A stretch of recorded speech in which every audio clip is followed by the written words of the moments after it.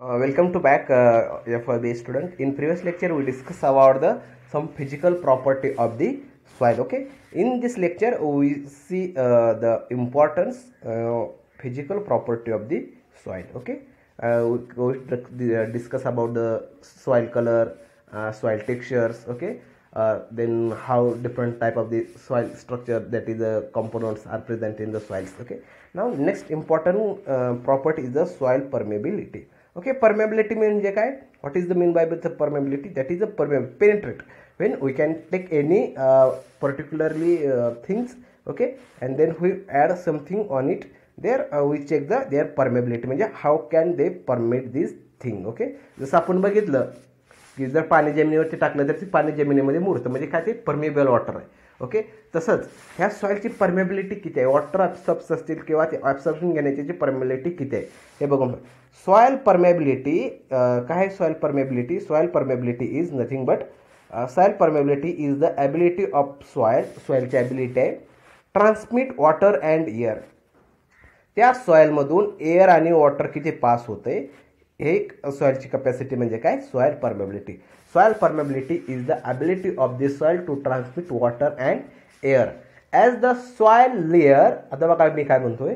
As the soil layer or horizon vary in their characteristics okay सहा layer आहेत O A B C D आणि R okay आता याच्यावरून त्या soil लेअरचे वेगवेगळे कंपोजिशन आहे. ओके त्यामुळे त्याचं स्ट्रक्चर वेगवेगळं आहे प्रत्येक वेळेस. As the soil layer or horizon vary in their characteristic त्याचे प्रत्येक कॅरेक्टर वेगवेगळे आहेत. द परमेबिलिटी त्यामुळे त्याची परमेबिलिटी सुद्धा काय?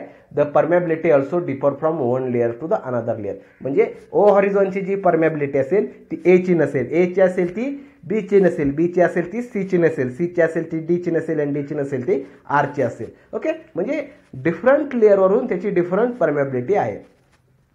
आतून दुसऱ्या कुठल्या गोष्टी? आहे पोर साईज त्या लेअरची पोर साईज काय आहे? ओके त्यामध्ये जे पार्टिकल आहे त्याच्यामधलं अंतर किती आहे? त्यानंतर त्याचं टेक्स्च्युअर कसं आहे? त्याची साईज कशी आहे? शेप कसा आहे?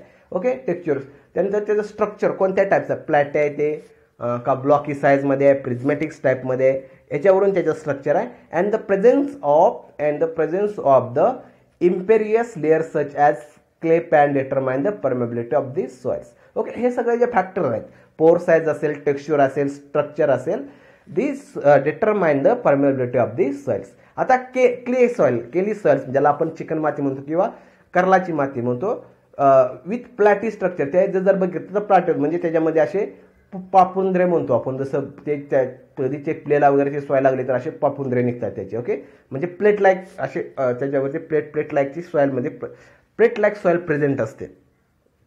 Clay soils with platy structure have very low permeability. This having very low permeability. असल्या मातीमध्ये फक्त पाणी साचून राहतं कर्लाच्या शेतामध्ये. चिकन मातीमध्ये निचरा पटकन होत नाही. Soil permeability he soil permeability depends on the horizons and their structure pore size and textures okay there we move on next that is a soil temperature आता सॉईल टेम्परेचर म्हणजे काय? That is a heat capacity of the soil to capture the heat source of the heat काय? तर सन okay ज्यावेळेस सूर्याची किरण ज्यावेळी ती जमिनीवरती म्हणजे मातीवरती पडतात त्यावेळेस माती ही उशिरा गरम होते आणि उशिरा थंड होते. हे आपल्याकडे हे आहे आपल्याकडे. काय? सॉरी माती लवकर गरम होते आणि लवकर थंड होते. तसंच आता ह्याच्यामध्ये बघणार आहोत आपण soil टेम्परेचरमध्ये soil temperature soil temperature is influenced by soil colours okay soil temperature जमिनीचं तापमान हे कशावरती डिपेंड आहे? तर त्या सॉईल कलरवरती कोणत्या कलरचे आपल्याला नॉर्मली माहिती आहे काळी माती पटकन तापते. वाळूसुद्धा पटकन तापते आणि पटकन थंड होते. टेक्स्च्युअर त्यानंतर त्याचं टेक्स्च्युअर कसं आहे? अँड वॉटर्स ओके आणि त्याच्या त्या सॉईलमध्ये वॉटरची क किती अमाऊंटमध्ये वॉटर प्रेझेंट आहे ओके जसं आपण भिजवलेलं रान तापायला वेळ घेतं. भिजवलेलं रान लवकर तापत नाही. ओके जसं कोरडं रान लवकर तापतं तसं भिजवलेलं रान लवकर तापत नाही. म्हणून soil temperature is influenced by soil colour texture and water also by altitudes okay ते कोणत्या अल्टिट्यूड्समध्ये आहे म्हणजे ते ट्रॉपिकल रिजनमध्ये आहे का? टेम्परेट रिजनमध्ये आहे का? त्याच्यावरती देखील हे डिपेंड आहे. ट्रॉपिकल रिजनमध्ये लवकर माती तापते. ओके डायरेक्ट आपण सनला एक्सपोज म्हणजे कारण ट्रॉपिकल रिजनमध्ये बघितलं तर सूर्याची किरणं ही सरळ पडतात. आणि टेम्परेट रिजनमध्ये बघितलं तर सूर्याची किरणं ही तिरपी पडतात. आणि पोलार रिजन असं आहे की तिथं सूर्याची किरणं पोहोचतच नाही ओके त्यामुळे तिथलं टाइम तिथले माती गरम होण्याचं प्रमाण सुद्धा कसं आहे? वेगवेगळं आहे. Soil temperature is influenced by soil colour texture water and also by the altitudes and slope आणि हे स्लोपवरती देखील काय? डिपेंड आहे. आता स्लोपवरती म्हणाल तर कसं? की जी सूर्याची किरणं वरती पटकन पडतात ओके? वरच्या बाजूला. कारण तो एरिया एक्सपोज होतो. त्यानंतर हळूहळू म्हणजे जर सूर्य जर इकडल्या बाजूने जर उगवला त्याची किरणं जर इकडून पडली तर पहिल्यांदा वरच्या सरफेसवरती पडतील आणि वरचा सरफेस एरिया गरम होईल. परंतु इकडं खाली त्याच्या तळाला बेसला पडायला सूर्याची किरणं उशीर लागतील. त्यामुळे इथला एरिया कसा असेल? माती थंड असेल वरच्या एरियाच्या कम्पेअरमध्ये okay black soil absorb more heat black soil जर बघितली आपण this black soil absorb more heat sandy soil observe more heat and radiate वाळूसुद्धा पटकन गरम होते बघा खूप गरम लागते. काळी सॉईलसुद्धा पटकन गरम होते. Radiate it quickly at the night than clay and loamy soils आता याच्यामध्ये सँडी सॉइल विषयी सांगितले so sandy soil absorb more heat पटकन हीट ते काय करतो? ॲब्सॉर्ब करतं. अँड रॅडिएट इट्स क्विकली आणि पटकन थंड पण होतं. As compare to the clay आणि लोमी सॉईलच्या कम्पेअरमध्ये ह्या सॉईल पटकन गरम होतात आणि पटकन थंड होतात. Then we mo move next point that is a soil atmosphere आता सॉइल ॲटमॉस्फिअरमध्ये बघा. It refers to the gases present in the soil pores. याला काय म्हटले it refers to the gases present in the soil pores हे अशा वेगवेगळे सॉईलचे pores आहेत इथं ओके आणि त्या सॉईलच्या पोर्समध्ये प्रेझेंट असलेलं गॅसेसचं अमाऊंट म्हणजे काय? सॉयल ॲटमॉस्फिअर ॲटमॉस्फिअर्स म्हणजे काय? वातावरण. वरण. आणि वातावरण कशापासून बनलेलं आहे? वातावरण हे वेगवेगळ्या वायूंपासून बनले आहे. From they made from the different gas that is oxygen carbon dioxide nitrogen nitrous oxide different type sulphur different of the gases are present present the the atmosphere. Likewise this different types of the gases also present inside this soil. It refers to the gases present in the soil pores soil pores मध्ये जे gases present आहेत ते काय बघ करताय बनवतात soil atmospheres it contains three main gases but uh, in the uh, air lot of gases are present but uh, inside this soil few gases are present three important gases are present okay it contains uh, three main gases such as oxygen uh, carbon dioxide and nitrogens okay three are most important for the plant growth and these three important gases are present inside the soils. It differs from atmospheric air okay? These gases are different from the atmospheric uh, atmospheric um, gases because uh, inside the these gases present inside the soil they are in the different form okay? It will be from the oxide forms okay? Uh, it from uh, it differ from the atmospheric air because it contains more carbon dioxide moisture and less oxygen than atmospheric air atmospheric air पेक्षा this con- consist of the more carbon dioxide मातीमध्ये more carbon dioxide आहे okay moisture जास्त आहे आणि less oxygen आहे the soil air is influenced by temperature आता हे सॉइल एअरमध्ये सॉइलमधले जे गॅसेस प्रेझेंट आहेत ते कशावरती डिपेंड्स आहेत these are influence by temperature then wind rainfall and pressures ह्या घटकावरती ते सॉइल टेम्परेचर डिपेंड आहे. पहिलं म्हणजे प्रेशर दुसरं म्हणजे रेनफॉल आणि तिसरं म्हणजे वाइंड आणि temperature then next is the soil water soil water rainfall is the main source of soil waters आता जमिनीमधलं पाणी.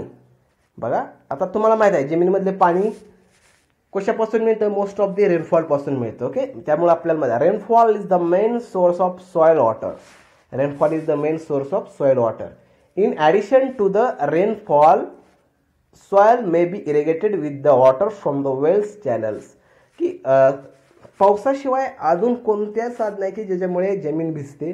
तर ते माहिती आपण शेती करतो नॉर्मली शेतीमध्ये आपण विहिरीचं बोरचं तलावाचं असेल धरणाचं पाणी देतो.